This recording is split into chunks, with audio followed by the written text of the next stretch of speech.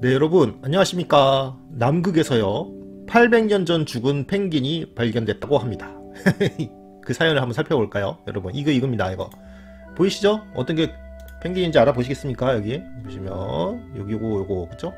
이렇게 돼 있죠? 여기 여기 그쵸? 여기 부리가 있고요 그쵸? 어. 와 여기 새끼네요 새끼. 그죠 새끼? 어, 딱 보니까. 예.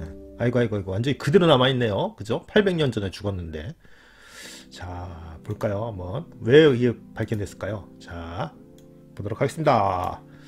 지구 온난화로 전 세계에 분포하는 빙상이 녹고 있다. 와, 빙하나 이런 것들 그죠?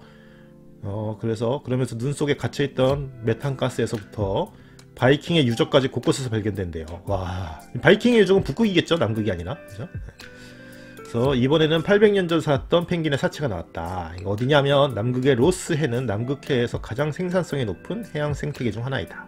음.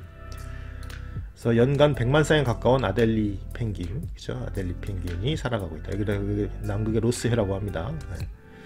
노스캐롤라이나 윌밍턴 대학교의 해양 생물학자인 스티븐 엠슬리 연구원은 남극 해안의 케이프 이리사르 에서 아주 오래된 아델리에 펭귄과 죽은 지 얼마 안 된 것으로 보이는 펭귄의 시체를 함께 에, 발견했다. 대부분 새끼들로 추정된다. 학자들은 이곳에 죽은 지 얼마 안 된 것으로 보이는 펭귄의 유해까지 발견됐다는 점이 선뜻 이해되지 않았다. 왜냐하면 1901년에서 1903년 최초의 탐험가 로버트 펠컨 스콧이 로스해 당도한 이래 이 지역에 펭귄 군집이 있었다고 언급하는 어떠한 기록도 없었기 때문입니다. 오 진짜 그거네 미스테리네요 미스테리. 어.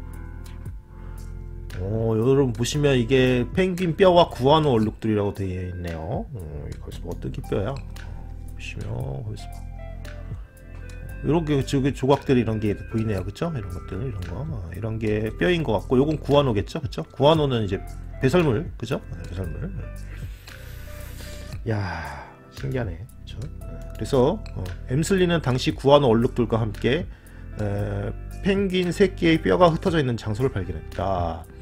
그 뼈들 중 일부는 깃털을 완전히 갖춘 새끼의 유해였습니다. 일부는 손상되지 않은 채 바싹 말라 있었다. 이거네 이거 아까 전에 이거 이거네요. 이거. 어? 음.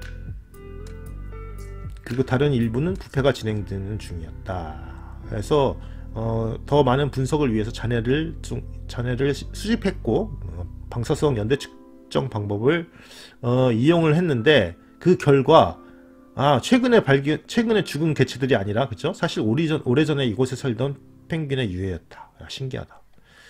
아, 그래서 그러면 오래된 사체와 방금 죽은 듯한 사체는 왜 함께 있는가? 그건 왜 그럴까요? 한번 볼까요? 어. 연구팀은 케이프 주변에 흩어져 있는 오래된 조약돌 더미를 발견했다. 그래서 이 더미들은 과거 아델리에 펭귄의 둥지였던 것으로 보인다. 어, 여기가 둥지 그건 거군요. 그래서 아델리에 펭귄은 둥지를 짓기 위해서 조약돌을 사용한다고 하네요. 어, 그래서 이게 군집인가 봐요. 이게 작은 게 다 조각, 조약돌인가 봐요. 그죠? 네. 그래서 엠슬리는 우리는 펭귄의 뼈, 깃털, 알 껍질 등 보존되어 있는 조직뿐만 아니라 먹잇감의 단단한 부분, 예를 들어서 바다새의 음, 배설물이 응고돼 퇴적된 어, 구안호나 물고기 뼈, 이석 등을 복구하기 위해서 고고학자들과 유사한 방법을 이용했다. 어 그렇구나. 그래서 어쨌든 어, 다른 아주, 아주 오래된 유적지에서 발견했듯이 흙은 아, 매우 건조하고 먼지가 많았다. 그 안에 펭귄의 사체, 사체가 풍부하게 있었다. 그러니까 여러분 이게 건조하고 그런 지역이기 때문에 잘 보존됐다는 이야기인가 봐요. 그렇죠? 음. 그래서 전반적으로 우리의 샘플 추출로 오래된 펭귄의 혼합물을 복구했고 최근 것으로 보이는 펭귄의 사체를 통해서 어, 펭귄들은 수년 동안 이 지역을 점령했다가 버리고 떠났다라는 것으로 지금 결론을 내렸다고 하네요. 어, 신기하다. 그래서 펭귄이 새끼를 낳기 위해서 이 낳기 위해 이 지역을 점령한 기간은 최소 3년 정도 아주 짧았네요. 그렇죠? 어, 그리고 마지막으로 케이프를 점령했던 시점이 800년 전이다. 야. 그러니까 마지막으로 이 지역을 차지했을 무렵 이 지역 위로 점점 눈이 쌓이거나 소 빙하기가 탁 닥쳤던 것으로 보이고 이로 인해 지표에 있던 펭귄 사체가 눈과 얼음으로 뒤집혀 최근까지 온전히 보존되었다. 어 그러니까 여기 근데 얘네들이 떠난 이유도 새들이 점점 추워지고 그러니까 그죠? 어, 떠났겠죠 아무래도. 어, 그래가지고 이제 거기 그 지역을 버렸는데 근데 그 지역에서 이제 시체가 되어가지고 있던 애들 이런 애들은 이제 그쵸 음, 눈이 쌓이고 건조하고 또 그래 그런 곳이었는데 또 눈이 쌓이니까 그쵸 또 그렇게 저기 뭐 아주 온전하게 보존될 수 있었다는 거겠죠. 네.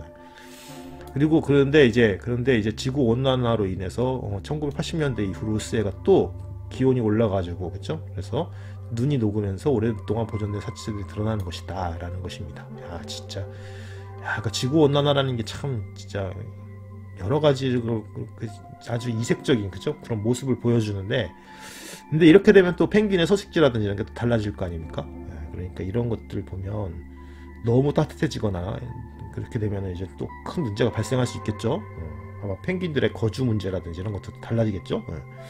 그렇게 되면 또 그렇게 되면 또 얘네들도 그쵸 지금은 마- 많이 개체가 많은 것 같지만 나중에는 그쵸 예, 멸종 위기에 처할 수도 있다. 지구 온난화는 정말 조심해야 된다. 이런 거를 말씀드리고 싶습니다. 자, 그래서 오늘 여기까지 하고요. 음, 내일 또 더 재미있는 정보로 여러분 찾아뵐 테니까요. 꼭 봐주시고요. 예. 오늘도 시청해주셔서 정말 감사합니다. 안녕히 계십시오.